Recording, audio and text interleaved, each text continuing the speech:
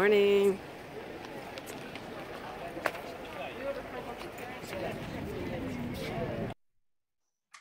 Hello, I'm Carol Montgomery, and on behalf of my colleagues, we are deeply grateful to those who brought this study to its completion.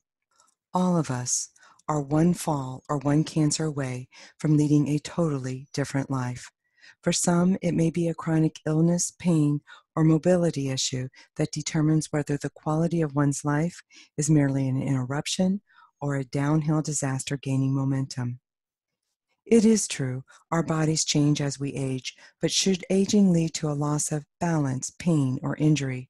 What if we could significantly impact 40 plus years of poor posture and bad movement habits that have resulted in strains and changes in one's physiology?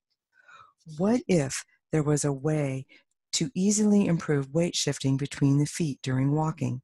as the inability to walk well and independently is a game changer in a person's quality of life. It was the musing of these questions and the successes achieved by our students that inspired us to conduct this pilot study. What was the intervention that made a significant difference in the quality of life of 23 people with a mean age of 73? Bones for Life, a relatively new somatic based educational program. In this pilot study, we asked ourselves what are the physical and psychological benefits, if any, that this program had to offer to the geriatric population. We have three objectives today. First, we will define somatic education and bones for life. Second, we'll summarize the four key findings of the pilot study. And finally, we want to help you understand why we think a somatic approach to exercise matters. Somatic education gives people access to information, partially cognitive, but mainly experiential about their embodied habits. There are three branches of somatic education. The third one, somatic movement, is the fundamental core of the Bones for Life intervention. Think of somatic movement education as a systems view of human functioning, based not on a medical treatment or therapeutic intervention. It is not something that is done to you, Simply, it's about learning your highly individualized movement habits rather than just receiving treatment like isolated strength or balance training or stretching. Somatic movement education invites examination and a way of experiencing connection, really understanding how a set of parts and subparts, when working together, perform a common function. Now, what exactly is Bones for Life? Created by Ruthie Alon, Bones for Life is based on the somatic movement educational approach of Dr. Moshe Feldenkrais. A Bones for Life certified teacher or train, trainer leads participants in verbally guided movement sequences or processes. These movements are done slowly and with exploratory intention. Many of the movements are modeled after primal patterns of locomotion, such as creeping and crawling. Activities are completed in various positions, such as lying on the back, sitting with unilateral weight shifting, and bouncing on heels. Props such as rollers and a strip of cloth or small hand weights facilitate the development of controlled resistance. Instruction in unusual or different movement activities are directed toward developing an aligned, upright posture for the purpose of transmitting pressure through the body that is proportional to functional demand and with the least amount of joint shear and extraneous muscular effort. The subjects in this study were randomized into two groups. Group 1 received the intervention for six weeks, while Group 2 was assigned to a six week wait list. Each group underwent pre and post quantitative and qualitative testing. The purpose of the wait period was to exclude any learning effects from the pretest. It also allowed the subjects in Group 2 to continue their regular activities, such as walking, swimming, Tai Chi, Zumba, and weightlifting. Group 2 was retested prior to their Bones for Life intervention, and no mm-hmm. significant changes were found in their physical performance measures. Each week, the Bones for Life movement processes and discussions centered around themes such as what you see lifted, listed here. So far, we have defined somatic education and Bones for Life, a form of movement education that gives people awareness and access to their highly individualized movement habits. Let's move on to our next objective, summarizing the four key findings of the study. Here are the physical and quality of life measures that were demonstrated the most sensitivity to change the 360 degree turn test, the 20 second step test, the SF36 health survey, and the qualitative data analyzed from the post intervention interview. Let's have a closer look at each finding. Both physical performance tests were time for speed. The 360 degree turn involves turning around in a full circle, pausing, and turning a full circle in the other direction. The 20 second step test involves standing on one leg while placing the entire foot of the opposite leg on a step as many times as possible in 20 seconds. We were surprised by these test results because both participants with the lowest level and the highest level of function demonstrated improvement. We asked ourselves why. By its nature or design, Bones for Life challenges long-standing, inefficient, and poor movement patterns. Could learning and practicing elements involved in transitional movements be the key difference that significantly impacted our subjects? Some examples of these transitional movements were moving down and up from the floor, going from sit to stand using a spiraling motion, turning, the lateral exploration of weight shifting and weight bearing through different aspects of the feet. Also, a common element in both tests was the ability to stand on one leg. Remember, Bones for Life does not target specific balance exercises. It uses novel movement activities. We think it was these movement activities that allowed subjects to sustain a smaller base of support without an increase in postural sway or musculoskeletal demand. Another contributing factor was improvement in lower extremity alignment patterns. We postulate that alignment patterns changed because of the guided novel movement activities. Here are some examples of these activities. Spiraling movements with eye-hand coordination. Pressing the foot on the wall. Facilitating patterns that involve trunk side bending and trunk rotation.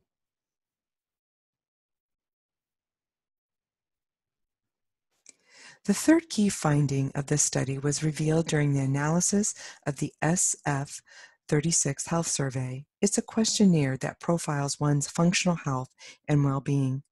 Divided into two broad components, physical and mental, it is further subdivided into eight domains. Significant improvement was seen in two domains, vitality and general health, and also a strong tendency was observed in the mental health domain. Let's look at the first improvement. Vitality. It is defined as a measure of one's energy.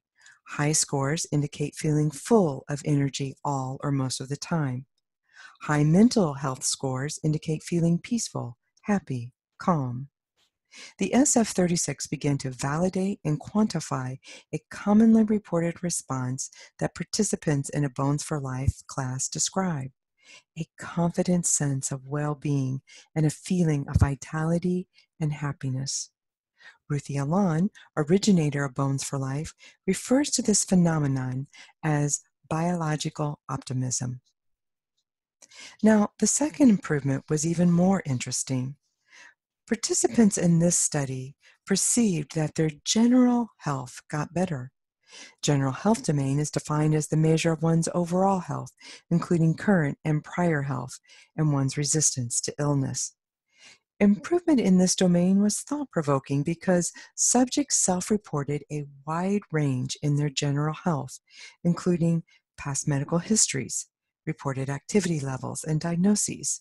Regardless of this diversity, positive effects were seen among participants in a very short time. So we asked ourselves, how in six weeks could general health perception improve when medical history, diagnoses, and activity levels remained the same? A precept of somatic movement education includes strategies to cultivate awareness, generating a state of mindfulness. The Bones for Life intervention revealed long standing habitual and inefficient movement patterns. When subjects improved their movement patterns, it increased their level of function. As function improved, they felt healthier. The final key finding of the study was observed in the post intervention interview, where subjects were asked four questions. In the first question, 50% of the subjects reported having poor balance prior to the study. After receiving the Bones for Life intervention, 90% of the subjects reported improvement in their balance, such as what you see listed here. However, improved balance was not the primary benefit of the class. Functional gains and carryover into daily activities was the number one benefit. Subject stated it was easier to get out of a chair, reach into cabinets, climb stools, change light bulbs, hang clothes. It was easier to get down and up from the floor. Also, there was an unpredicted carryover as subjects reported improvements in recreational activities such as playing golf, noted improved stance and swing, and better ability to concentrate during play. They also reported improvement in their walking programs, such as increased speed, confidence, and improved postural alignment. Finally, the last objective why a somatic approach to exercise matters. In this pilot study, maybe the only difference between quality function and dysfunction is that quality function is primarily informed by organized movement patterns that explore some of these qualities you see listed here. Somatic based programs challenge students. They ask them to be full participants in learning movements that confront their quality and their ability to be aware, to think, and to use problem solving skills to improve balance and self care. Somatic movement education programs are where function improves through the improvement of body awareness. Thus, movement coordination and the collaborative functions of the skeletal, muscular, and nervous systems are changed. Even when people have an organic problem or disease, it just may be possible that the field of somatics can help them deal with how they respond to their problem and therefore impact their quality of life we like to share a video clip that captures the human emotion, significance, and impact of the Bones for Life intervention.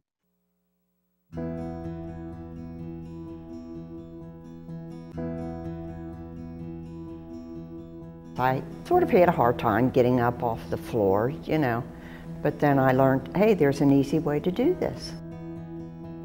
I've watched my posture more. At first, I was watching it now, I'm more doing it unconsciously. I tend to have more confidence in my balance. I found that I was able to reach farther when I'm hanging clothes on the line. I had this ballet thing where you walked one foot in front of the other, and now I have a gait. And it's so much better. The Integrative Learning Center conducted a pilot study using Bones for Life with adults over 65. After attending class once a week for six weeks, these are some of their experiences. So we've started binding this point of power in the foot that helps us unweight and then lift our leg for the next one. You know, I'm 65, so I'm, I know there's going to be times when certain parts of my body might deteriorate and I want to remain active. The techniques of going down to the floor um, was you know, neat to, uh, to learn. I usually would wind up bouncing down and just, my weight would just cave in, but now I'm much more smooth, so that's good. One of the fun things about this kind of an approach is you'll become curious about what it is you do and how you do it. And you'll start to notice it things that you just have been taking for granted. You'll start to notice it. This was this was something different. This helped me more with the posture and with being able to get up and down and uh, the easiest way to do it. It was many faceted and uh, it covered a wide range of areas which was great because I found out that I had a lot of things that bothered me that I didn't really know about until we got into the exercise. and realized it needed, I needed to be strengthened or stretched or moved and all those things worked together. And so therefore I was moving better because things were working together. And it helped my neighbor down the street. I pull out of my driveway and I'm going down the street. There he is on the sidewalk. And I thought, oh no. He's fallen? Yes, he fell. So I pulled the car over to the curb and I go over to him and I said, Can you get up? And he said, I don't know. And then I sat in the grass beside him and I said, This is what I want you to do. And I told him about moving his leg and his arm and his head. And I hurry up and I jumped up and I got behind him. And am I allowed to say this, what I told him? Sure. I says, make sure your ass is up in the air when I grab you. And I got behind him and I lifted him up and there was the two of us. We were lifted up.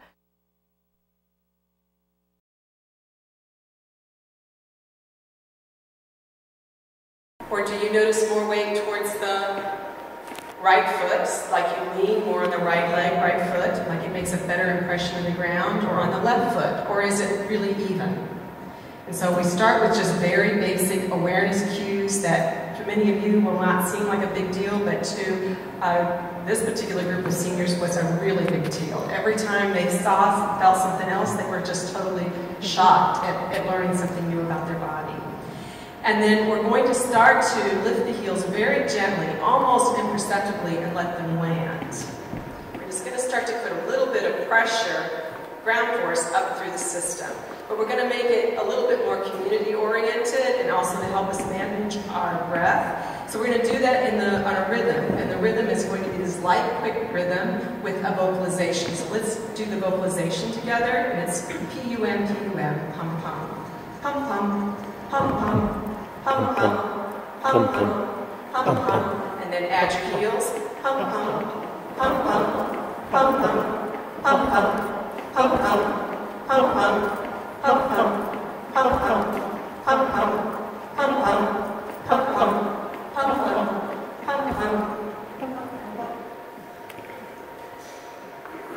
something very basic. And then we come back to noticing already way it feels distributed a little bit differently in your feet. Like something's not quite the same as it was just a few seconds ago. And from there, we would build different forms of alignment so that they could learn to align their low back, align their neck without um, active muscular effort that you might think of. And then again, we would come back to this bouncing on heels and sending pressure through the system, gradually training uh, the muscles of the front and the back body to rebalance themselves and allow more mobility in um, walking and standing and doing. So that's a very sweet little easy process of bouncing on heels. Thank you so much. On behalf of my colleagues, Cynthia Allen, Sherry Farber, and Mark Farber, we thank you for your attention and we invite further comments or questions. Please contact us at our website at integrativelearningcenter.org. Thank you.